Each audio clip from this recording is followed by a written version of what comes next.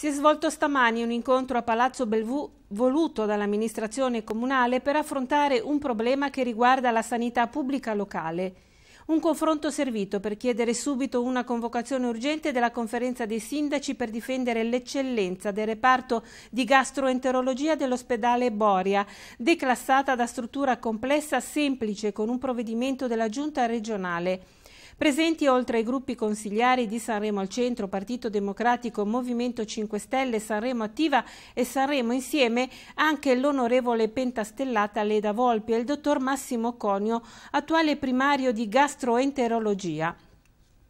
Il dottor Conio è alla guida del reparto Matuziano dal 2004, che è visto in Europa come una delle poche eccellenze del, del, panorama sanitario della Riviera.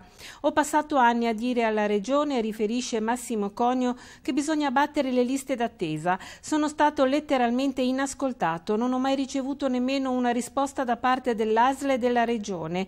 Se si toglie la possibilità di trattare le emergenze a Sanremo, si rendono conto che i politici di cosa vuol dire trasferire un caso complicato fino a Pietra Ligure, ci saranno motivazioni politiche dietro alla scelta dell'assessore regionale Sonia Viale a domandarselo è stato il capogruppo della maggioranza del sindaco Biancheri Alessandro Sindoni.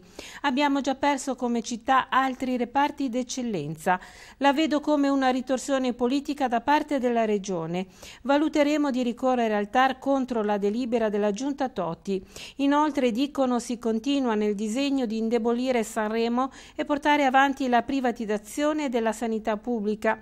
All'interrogazione urgente presentata al ministro Giulia Grillo da parte dell'onorevole Volpi è stata decisa oggi di inoltrare all'attenzione dell'assessore regionale Viale e al direttore dell'ASL 1 Imperiese da Monte Prioli una richiesta di convocazione urgente.